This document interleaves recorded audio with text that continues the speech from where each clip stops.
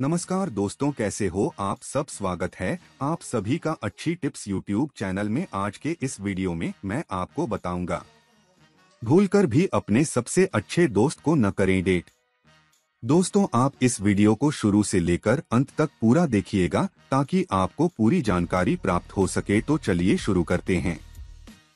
कई लोगों को लगता है कि उनके बेस्ट फ्रेंड से बेहतर उन्हें कोई समझ ही नहीं सकता है। और इसीलिए वो उसमें अपना पार्टनर खोजने लग जाते हैं। पर क्या कई लोगों की तरह आपको भी ये लगता है कि बेस्ट फ्रेंड को डेट करना एक बेहतर विकल्प है? अगर हाँ तो यहाँ कुछ ऐसे कारणों का ज़िक्र है, जिसके आधार पर यह कहा जा सकता है कि बेस्ट फ्रेंड को डेट करना शायद एक सही फैसला नहीं है। डेट पर जाना एक रोमांचक अनुभव होता है, लेकिन अपने सबसे अच्छे दोस्त के साथ डेट पर जाना कुछ अटपटा हो सकता है।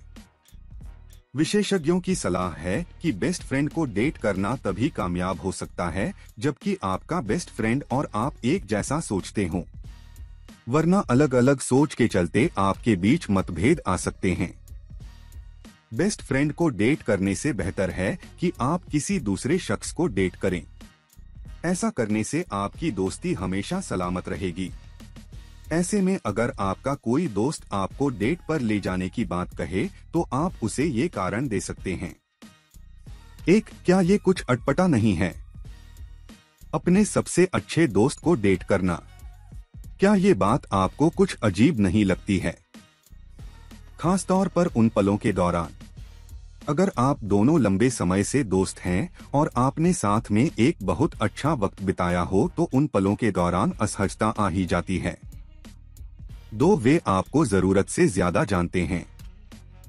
ये एक बहुत बड़ा कारण है, जिसके चलते सबसे अच्छे दोस्त को डेट न करने की सलाह दी जाती है।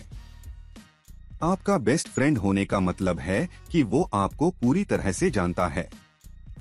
इस बात से कोई इनकार नहीं कर सकता है कि आप दोनों के बीच बहुत अच्छी समझदारी विकसित हो चुकी होगी, लेकिन आपके हर राज का वो हमराज होगा। ऐसे में ये स्थिति खतरनाक हो सकती है। तीन दोस्ती पर संकट। बेस्ट फ्रेंड को डेट करने का सबसे बड़ा नुकसान ये है कि ऐसा करने से आपकी दोस्ती प्रभावित हो जाती है। चीज़ें उस तरह से आगे नहीं बढ़ पाती हैं जैसी अब तक होती आई हैं। चार, रिश्ता न तोड़ पाने की मजबूरी। या तो आप कोई रिश्ता बना सकते हैं या फिर तोड़ सकते हैं। पर बेस्ट फ्रेंड को डेट करने का एक नुकसान ये है कि आप न तो इस रिश्ते को तोड़कर आगे बढ़ सकते हैं और न ही इसे नकार सकते हैं। पाँच, एक नए दोस्त की तलाश। जब आप एक बहुत अच्छा दोस्त खो देते हैं तो ज़िंदगी में एक खालीपन सा आ जाता है, जिसे भरने के लिए आप एक बार फिर से तलाश शुरू कर देते हैं। पर यह ज़रूरी तो नहीं कि हर बार आपको एक बेहतर दोस्त मिल ही जाए।